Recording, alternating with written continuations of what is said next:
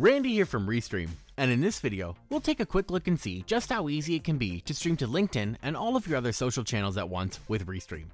To get started, open your browser and head to restream.io to create your free account. This account will allow us to quickly and freely stream to LinkedIn, YouTube, and your Facebook profile all at once. Now that we're on the Restream dashboard, we'll get LinkedIn added. Before we go any further, you'll want to ensure that you've already been accepted to the LinkedIn live streaming program. If you haven't already, you can apply by clicking the link here, then filling out the LinkedIn application form.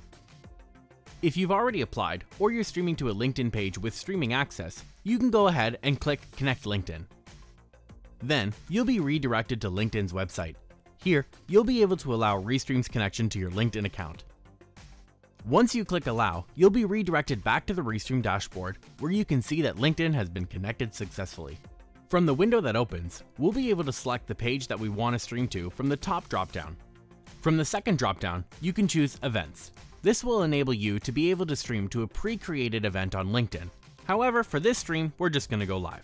Now we'll go ahead and click Save to allow Restream to fully connect to our LinkedIn page. If you'd like to set up audience targeting, or you want to edit some of the settings of your channel, go ahead and hover over it and click Edit Settings. Here, you can turn on audience targeting, which will allow you to target a specific portion of your audience. However, keep in mind that these options are only available to pages with over 300 followers. Finally, let's go ahead and add our Facebook and YouTube channels. Now it's time to go live, and we can do so by clicking Live Studio from the top left hand side. From here, you'll be able to set up your stream, such as graphics and captions,